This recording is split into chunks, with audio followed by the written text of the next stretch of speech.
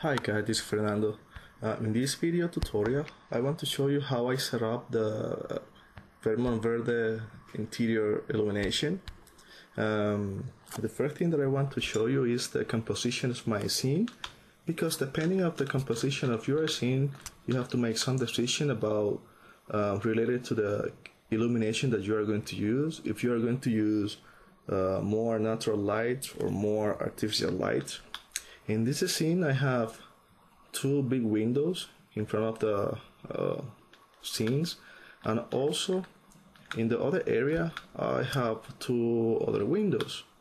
So uh, by looking this scene, I understand that I have a good chance to get a really nice natural light coming through the windows uh, and illuminating my scenes. So at it, at that moment, I think that with the sun, I will get enough illumination to illuminate my interior. If I need some, actually, you are always going to need artificial lights, then you have to apply the artificial lights.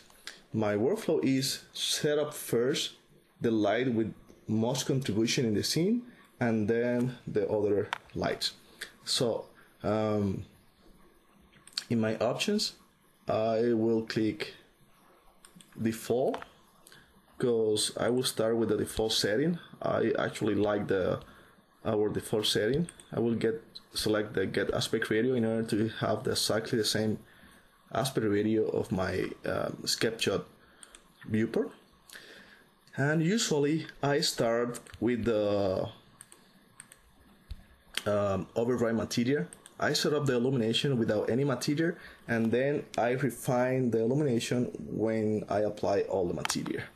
So I want to create a, a render with this uh, default setting and based of the result of this um, default setting I can make some decision of what I have to do if I, if I, if I have to increase the the brightness or reduce the brightness.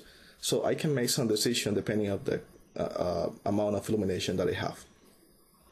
Okay I'm gonna pause the video until the final render done.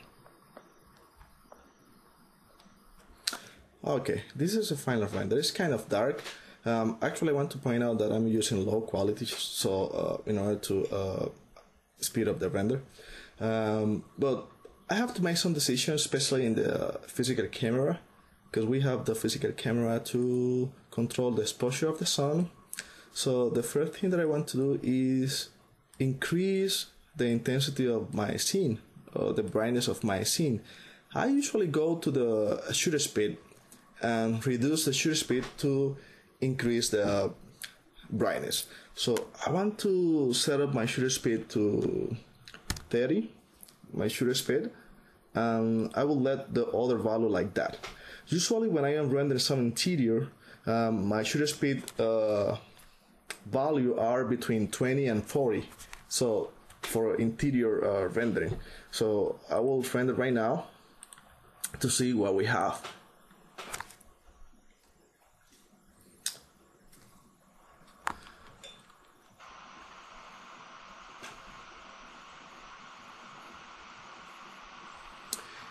There we go, this is the final render. I think that we have enough illumination here. Also my sun is kind of bright here. Uh, so I cannot increase the uh, spotule a little bit more.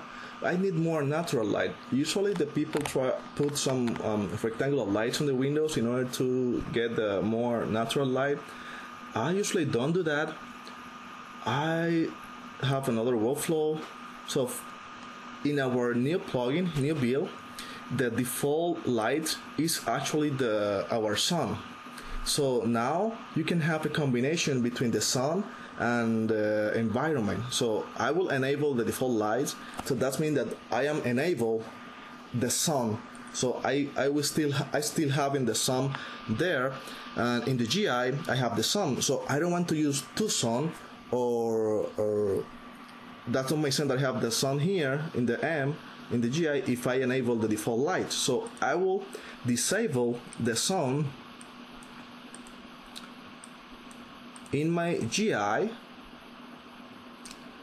and I'm going to use the GI to throw more natural light. So right now I have the GI environment uh, with the bluish color, so I'm going to reduce a little bit the color and I will increase this value to 40 in order to throw more natural light in my interior. But I have another problem. This area here is very white, is, washed out, is burned out my, my floor. So I have to reduce to reduce the, the intensity of the white area or on the bright area. So if you go to the color mapping, you have a brighten multiplier. The Reinhard um, um, mapping, color mapping, is a, a combination between linear and exponential. If the bright value is 1, the result is linear. If the bright value is close to 0, the result is exponential.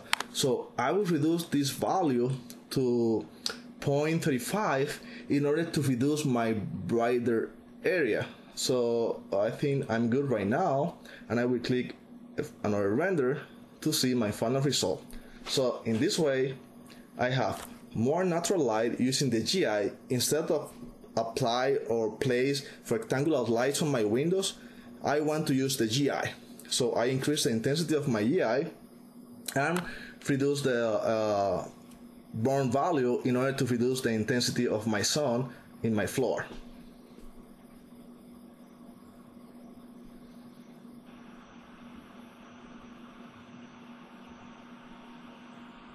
So here you go. You can see here I have a brighter uh, interior because I increased the intensity of my natural light, in this case the environment. Um, I'm still having the sun here because I have the sun enabled by default using the default lights.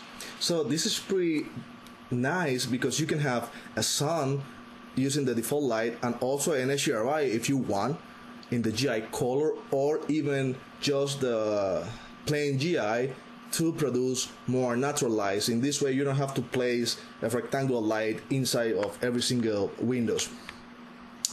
Okay, this is, I think this is a pretty nice uh, render. It's pretty nice interior. I like the result. Um, the only thing that I want to do right now is just put some spotlight in my ceiling and also some rectangular lights in those cavity here and in this cavity to add more natural light I mean artificial light in my render.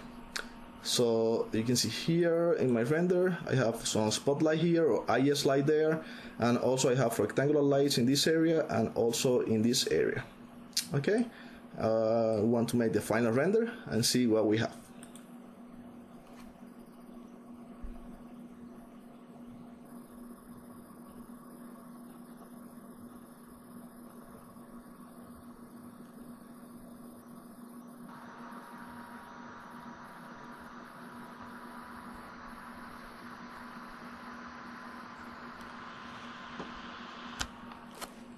Here we go. Uh, this is a final render. Um, maybe it's kind of bright, but remember my scene is kind of dark material. So as soon as you apply the material you are going to have a really nice illumination. This is the way how I how I set up the Vermont Verde interior. So it's pretty nice pretty clean. You can see the final result. This is the raw render without any um, Photoshop or post-processing so you can see the the spotlight here, the rectangular lights in the ceiling.